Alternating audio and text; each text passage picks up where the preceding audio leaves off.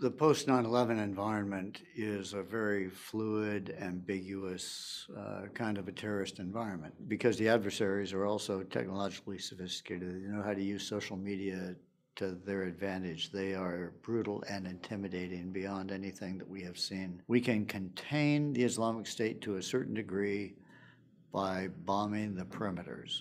We can't bomb the cores of where they live because they live in amongst the people. We don't understand the level of intimidation of the Islamic State. We are not there in numbers, understanding the people, understanding what motivates them, what their aspirations are, what success or victory looks like to them. We're not going to be able to kill our way to victory by any means. We're going to have to understand our way to a much more complex, sophisticated kind of solution. And if we are going to aspire to leave behind a secure environment, it has to be one that is acceptable to them.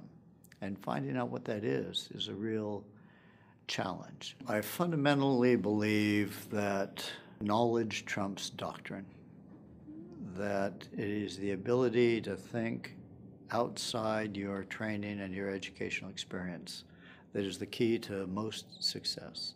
No situation I've ever come into in any place has directly matched the doctrine written for it. And so the best leaders, I think, are those who are who are courageous enough to learn fearlessly, who are willing to fall out of love with the doctrine they wrote, out of love with the idea that they uh, they came up with, and and realize that most of the great ideas come from the bottom up, not from the top down.